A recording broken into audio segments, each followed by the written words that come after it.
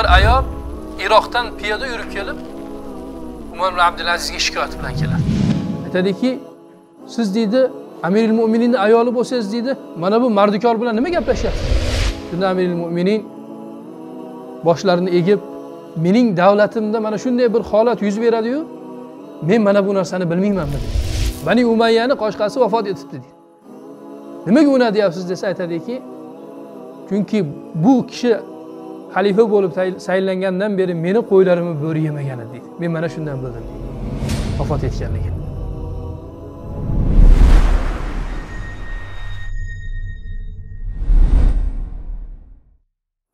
rivoyatlarda keladiki bir ayol iroqdan piyoda yurib kelib umar ibn abdulazizga shikoyat bilan keladi. Umar ibn abdulaziz surishtiradi. Keyin aytadiki umar ibn abdulazizni xalifani amiril mo'mininni uyi hovlisi bu deydi. Shunday hovliga kirsa ayoli xamir qorib turgan bo'ladi. Aytadiki bu amil mo'mininni ayoli deyishadi. Ana shu vaqtda qarasa bittasi ana shu devorni loylar bilan choplab to'g'irlayotgan bo'ladi bir odam. Keyin aytadiki siz deydi amiril mo'mininni ayoli bo'lsangiz deydi mana bu mardikor bilan nima gaplashyapsiz deydi. Mana bu mardikor sizga qarayapti yuzingizni nimaga to'smayapsiz deydi. Dediki bu mardikor emas deydi. Bu, bu ishchi emas bu. Bu amiril mo'minin xalifa shu kishi deydi. Keyin haligi ayol umar ibn abdulaziz oldiga kelib dediki men iroqdan keldim. Meni beshta qizim bor.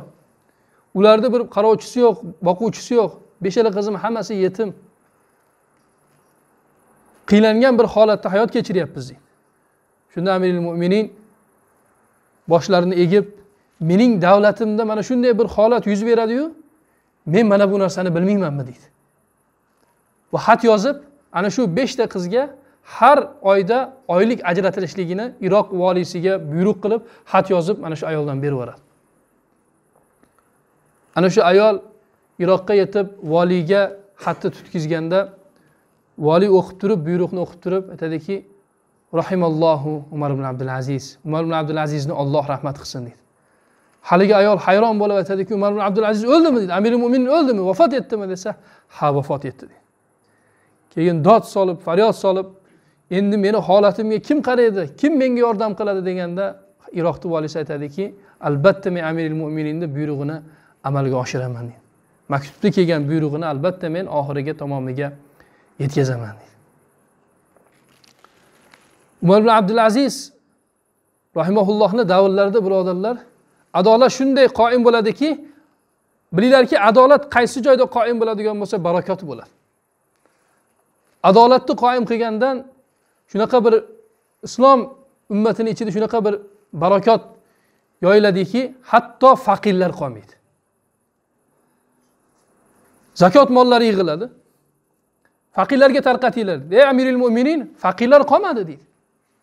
Dediki musulmonlarni lashkarlarini jihozlanglar deydi. Dediki musulmonlarni lashkarlari eng mukammal ravishda jihozlangan holatda deydi. Sharqu g'arbga lashkarlarimiz borib turibdi ehtiyoji yo'q deydi. Aytadiki bo'lmasam deydi xalqni qarzlari bo'ladi yo bo'lsa qarzlarini uzinglar deydi. Xalqni qarzlari uziladi yana mol oshib qoladi. Aytadiki endi deydi yahud nasorolar bo'lgan bizni davlatimizni ichida bo'lgan yahud nasorolarni qarzlarini uzinglar deydi. Qarzlar uziladi ularda. Ham yana mol dunyo oshib qoladi. Nima qilinglar desa ahli ilmlarga qaytaringlar deydi. Ahli ahli ilmlarga tarqatinglar deydi.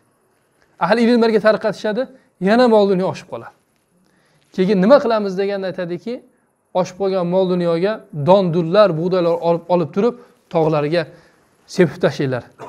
Musulmonlarni yurtlarida qushlar ham och qolmasin. Mana shu urf odat hozirga hozirgacha turkiyada saqlanib qolgan. Bilsanglar qishlarda bug'doylarni sotishadi tog'larga. Nimaga? Chunki mana bu umar ibn abdulazizni qilgan ishlaridan qolib ketgan. Shahar voliylaridan bir voliy kelib umar ibn abdulazizni oldiga keladi. Kelib ba'zi bir narsalarni so'raydi. Davlatni ishiga oid bo'lgan.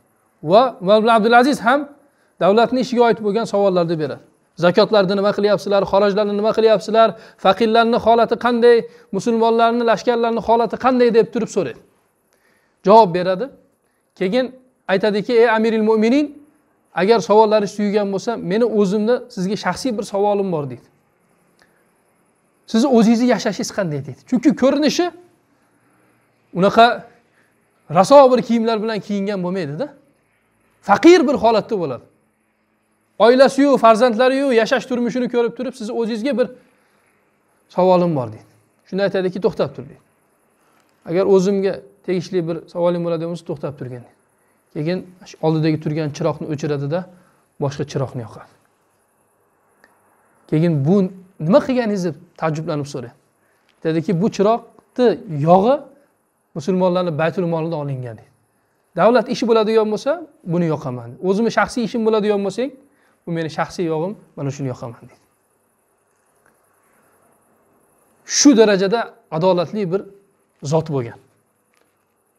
Bejizga ulamolar beshinchi xalifa umar ibn abdulaziz deb turib aytishmagan. Ko'rinishi ozg'in yuzlari oppoq peshonasida qoshqa holatida bo'lgan. Ya'ni peshonasida bir jarohatdan iz qolgan ko'rinishda bo'lgan. Odamlar umar ibn abdulazizni ashajju bani umayya bani umayyaning qoshqalangani deb turib aytishadi qoshqasi deb turib aytishadi. Nimaga? Chunki peshonasida shu yoshligida e, otdan yiqilganga o'xshagan e, otdan yiqilganmi shunga bir hayvondan bir jarohat yetadi. Shu bilan peshonasi qoshqa bo'lib qoladi. Bir kuni bir ayolni qo'yini bo'rilar yeb ketadi. Keyin haligi ayol aytadiki mata ashajju bani umayya deydi. Bani umayyani qoshqasi vafot etibdi deydi.